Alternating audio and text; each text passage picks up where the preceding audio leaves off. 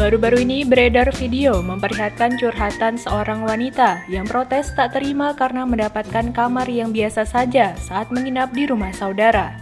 Viral di media sosial. Video viral itu dibagikan ulang oleh akun berikut di jejaring media sosial Instagram. Dalam video, seorang wanita itu mengaku tengah liburan dan menginap di rumah kerabat. Namun, dirinya tak puas karena hanya mendapatkan kamar seadanya. Dalam rekaman video tersebut diperlihatkan kamar di rumah saudaranya yang begitu rapi, bahkan sangat bersih tanpa ada perabotan yang berantakan.